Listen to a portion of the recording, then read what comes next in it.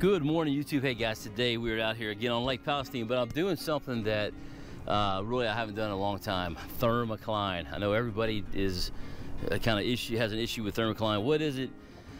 There's so many wrong answers, so many right answers. Uh, how does it affect the fishing? Uh, what does it look like? Today I'm going to show you, uh, at least on live scope, and I believe I can see it on on to, uh, down scan as well graph. I'm going to show you what those look like today. Talk about where the fish are. Can this help you catch fish? Can it not? It just kind of happens. Uh, and who has thermocline? Y'all stay tuned, guys. We're going to cover all this. So, guys, if y'all would right now, hit that like button, hit that subscribe button, the bell for notification, let you know when we do a new show. I love watching subscribers grow, guys. We're, we're growing, not huge, we're just growing, and I like that. Um, I love the fact that uh, I get to see a lot of you guys on the lake and the various lakes I go. But anyway, if you would hit that like button, subscribe button, and we'll catch you guys in just a second. Talk about thermocline.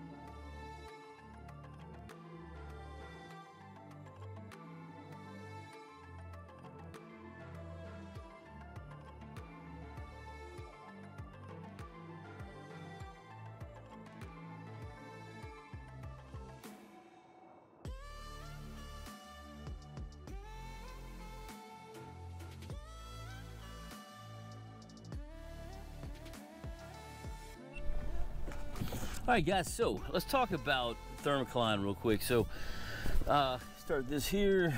Okay, so in front of me, and this is, we got some better examples out there, but look at the trees.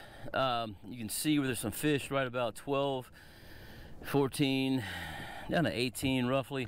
You can see on the, on the uh, live scope exactly where that thermocline is coming into. So the way it works, thermocline, take this lake and divide up into three. It's really a few more, but the main three are the, are the things. So you have your normal water, you have your stratification level, which is, man, this wind, I'm sorry, which is uh, the thermocline, then you have the dead zone below it. Dead zone has oxygenated water, depends on the lake, but um, usually less than one uh, percent, one, yeah, one percent um, usually like a 0.4 or a 0.04 area. Won't get too technical in there. The thermocline is going to be a little better, but it's still going to be a fish can swim in it. You see, there's one in there now, uh, a couple in there now. Um, I got, in fact, I have the live scope real hot so you can see this. Um, but uh, it's going to have more of a one to two percent ratio where you get up to the topper layer that's the higher level the top layer that's where you're going to have your five, six, seven, eight, nine percent uh, oxygenated water within there. So basically, that's kind of what um, thermocline is. Thermocline happens obviously during the summer, um, several times a year, especially on our lakes, because our lakes uh, basically have a spillway. That's all they have is a spillway. When the water, we have enough rain up north or on us, and the creeks fill up, it drains into our lake. So right now, we hadn't had a rain in, gosh, pretty close to a dang month now, and uh, there's nothing coming in. So that water at the bottom is just stagnant. It's it's it's a uh, a cooler water. It just makes a barrier. The oxygenation in there is, is real low, and there's nothing coming in from the from the uh, up north to push that water and stir it. Our believe it or not, our wind is up right now. We haven't had any major storms because the major storms also help churn that water, especially when you're into, uh, uh, we got a max foot of about 35 foot on this lake. So it's, it's, uh, it takes a lot of wind, a lot of water, everything else to, to keep the thermocline from happening. So some of you guys who are on a lake such as uh, Ouachita River or Tennessee River, um, some of those some of those river system lakes, you guys probably don't have as much of a thermocline. You probably have it in the pockets, um, but in that main river channel, as long as water's coming in there and stirring it up, you're not gonna see it. So uh, anyway, let's just try to catch a couple fish here, kind of get an idea of what uh, is going on. So again, in fact, you know, better yet, I'm gonna go somewhere else real quick and show you a different view of it. Then we're gonna show it to you on, uh, on uh, downscan. See what happens. All right, guys, this, so this is the downscan view of what we are just looking at there. So this is your good water. Um, this is your bottom. And right there is your thermocline.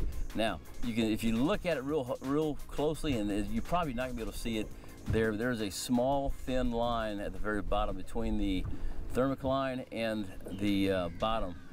That is what's considered the dead zone, that third layer where the water is just hardly any oxygen in it. So that's how you can see it. It looks it looks like fog, looks like cloud. The problem is it's just a it's kind of like oil and you got water on top. They're just not mixing right now. Let's go find a better place.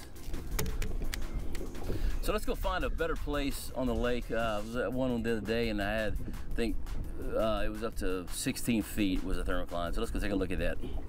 Guys, it's just too rough to get out there right now um, to find any more therm thermocline, but that gives you a good example. So when I was out here the other day, um, I was in 20 foot of water, thermocline extended up about six feet, so I was catching those fish in around the 20 to 18 um, mark. You just see them kind of balled up. I think I have some video from last week where I can show you that as well.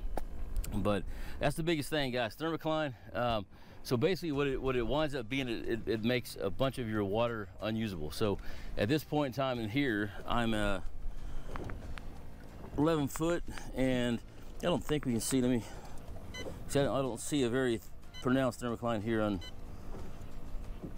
size. Well, there is, you can see right there. So it looks like it's uh, 11 foot deep. So there's your Oh yeah, there we go. So it's 11 foot deep, or 12 foot deep. There's your uh, bottom, and your thermocline extends up to about right there, about eight foot. So let me zoom in a little bit if I can. I'll hold it right there and do it on the computer. But that kind of shows you your thermocline in different areas. So something very good to look at. If you've heard of thermocline all your life, you never you have never seen it, that's what it looks like. Um, when it's really pronounced, like it was the other day, you could see it on 2D as well. Um, when you get into 2D, well, I'm not going to do a whole tutorial on it, but when you get into 2D, you'll see it. It just looks like a little purple fuzz, like a haze uh, through there. So, uh, but it's just constant. Um, anyway, hey, if you have any questions, make sure you let me know in the comments. Thanks for watching. Get this, guys. Thermocline's a big deal. It can help you out fishing. It can hurt you fishing, depending on where you're fishing and not knowing where the fish are. So you figure out where that thermocline level is, fish above that, you're gonna be good most of the time. But you kind of look at it from a standpoint of, um, say I have a pond in my backyard and uh, it's normally at 12 foot. If the water drops all the way to six foot, that only gives me six foot of lake to fish, if that makes sense. You look at the thermocline the same way. The lake's 12 foot deep, but your therm uh, thermocline's a, and the dead layer take up the last, say, uh, four foot, for instance. Well, then that gives you eight feet to eight, nine, 10, yeah, sorry, early morning. So it gives you about eight foot to fish, kind of like if the lake was down low, eight foot. Make I don't know if that makes sense or not. Anyway, thanks for watching, guys. Hit that like button, hit the subscribe button hit the bell for notification. We'll see you guys on the next week. Take care.